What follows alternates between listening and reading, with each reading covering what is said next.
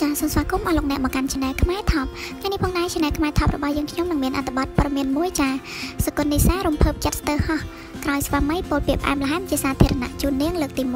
1រៀបការជាច្រើនឆ្នាំគេកម្រឃើញតារាចម្រៀងសកុននីសានិងស្វាមីបង្ហាញភាពផ្អែមល្ហែមដូចគូដតីទៀតណាស់តែនេះជាលើកដំបូងដែលគេបានឃើញស្វាមីរបស់នាងគឺលោកចៅសម្បត្តិបានបង្ហាញពាក្យពេចន៍មួយចំនួនបើកចំហពីចរិតរបស់ភរិយាសកុននីសាដែលធ្វើឲ្យនាងមានការភ្ញាក់ផ្អើលនិងរំភើបជាខ្លាំង។ ថ្មីថ្មីនេះតារាចម្រៀងមុខស្រទន់សុគន្ធនិសាបានបង្ហាញមុខក្នុងកម្មវិធី Sri Fun Cambodia ជាមួយនឹងការតុបតែងខ្លួនឡើងស្អាតគួរឲ្យស្រឡាញ់តែអ្វីដែលប្លែកនោះគឺលោកស្វាមីរបស់នាងបានចេញមកនិយាយពីអារម្មណ៍ពិតចំពោះនាងជាសាធារណៈថាគាត់ជាមនុស្សល្អយល់ចិត្តគេព្យាយាមយល់ចិត្តគេច្រើនជាង គេចូលចិត្តធ្វើអ្វីសាមញ្ញសាមញ្ញនិងចូលចិត្តជួយគេអត់ដែលចង់បានអ្វីមកវិញហើយគាត់ជាមនុស្សស្រឡាញ់សត្វហើយខ្ញុំជឿជាក់ថានៅពេលដែលគាត់មានកូនគាត់គឺជាអនាគតម្ដាយដ៏ល្អ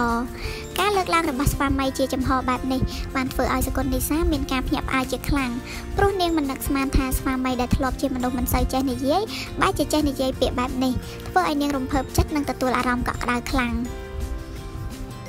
បើទោះបីជាមិនបើកចំហពីជីវិតគូជាសាធារណៈក៏ពិតមែនតែតារាចម្រៀងសកលនីសាទទួលបានក្តីសុខពីស្វាមីយ៉ាងពេញលេញដោយក្នុងនោះនាងបញ្ជាក់ថាជីវិតមួយនេះសម្រាប់តែស្វាមីហើយនាងសន្យាថានឹងស្រឡាញ់លោកជារៀងរហូតដើម្បីឲ្យកាន់តែច្បាស់ចាចង់ដឹងថាយ៉ាងណាតាមដាននៅរូបភាពទាំងអស់គ្នាដែលយើងខ្ញុំបង្ហាញនៅលើអេក្រង់ទាំងអស់គ្នាតែម្ដងចា